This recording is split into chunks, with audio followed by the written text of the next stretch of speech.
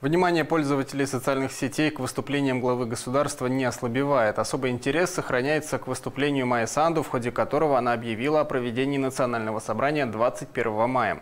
Завершится это событие принятием декларации, подтверждающей поддержку гражданами нашей страны вступления в Евросоюз, процитировала президента телеграм-канал «Блокнот Молдова».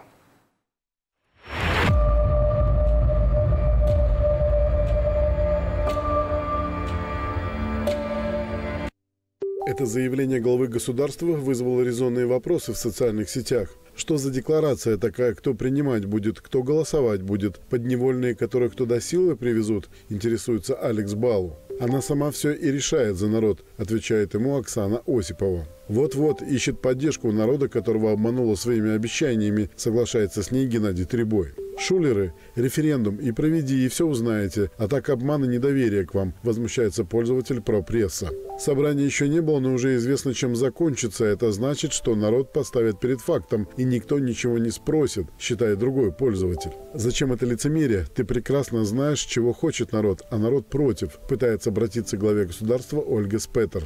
Санду, пиши свою декларацию на заборе, советует пользователь Джокович. Большое количество комментариев обвиняет президента в нарушении демократических норм и требует проведения референдума. А на демократию наплевало, констатирует Дима Горанцов.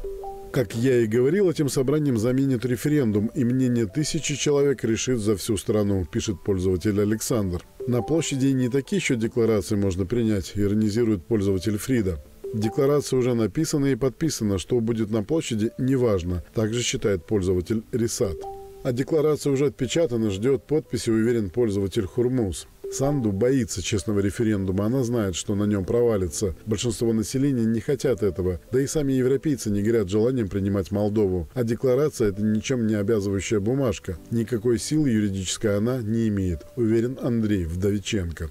Только референдум о вступлении в ЕС, а декларации можете принимать хоть каждый месяц. Юридической силы они не имеют. Это мнение максимум 1030, что вы соберете. Плохотнюк тоже собирал народ на площади, а после этого пришлось бежать. В отставку ОПГ ПАС требует пользователь Варлок. Также в социальных сетях активно обсуждается, за чей счет будет проводиться это мероприятие. Национальное собрание Молдовы и Европеана организуется на деньги государства. Да, на наши с вами деньги, которых не хватило, например, чтобы нормально поднять пенсии, чтобы дать пенсионерам к Пасхе тысячу леев, чтобы помочь примариям повысить зарплаты бюджетникам. Не, ну красиво жить не запретишь. Захотелось кукане потусить масштабно. Деньги нашлись. А смерды чё? Смерды без прибавок перебьются. Бари гулять изволили, сообщает телеграм-канал ВТФ. Организация в Кишиневе митингов в поддержку евроинтеграции занимается президентская администрация, и для мероприятия понадобится логистическая помощь правительства, заявила Майя Санду. Понятно. В общем, 2013 год во всей красе. Далее по сценарию, только кража миллиарда. Благо вот и Дирк Шубель уже координирует, чтобы все по канонам истории успеха, пишет телеграм-канал Гений Карпат.